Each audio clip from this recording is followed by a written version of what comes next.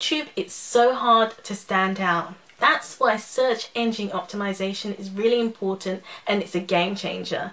You can hack the system with search engine optimization and get your videos to the top of the results. If you're ranking your videos, then you can get more views and subscribers. So SEO for your videos is highly important. You don't want to put all that hard work into making your videos just for no one to watch it. So what are you waiting for? Let me help you with your SEO.